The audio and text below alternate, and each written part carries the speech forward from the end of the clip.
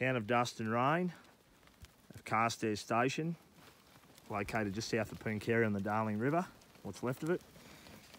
There's 190 Dorper and White Dorper Scanty Lamb ewes, 27 blackheads, 163 whites.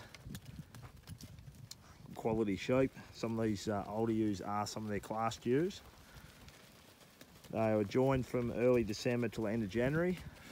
The white Dorpers were to white Dorper rams. It could have been a couple of Dorper rams in with them. And the blackheads were joined back to blacks. They've just been put together for the, the consignment. Skin lamb 100% uh, this morning. Majority of May, June, July drop of that year colour. Very odd could be ewe could be a summer drop. It's a bit younger. Dust and Rain have got their own stud, so by very, very quality, uh, good quality rams. With the stretch in these ewes, they got them classed every year independently. You just notice the odd ewe with a, a classing tag in that's uh, it's one of their top end ewes. So A saying due to the dry, usually some of those sheep wouldn't be up for sale. Good shedding sheep. You can see mostly just a saddle or they're fully shed. Hard to buy sheep like these.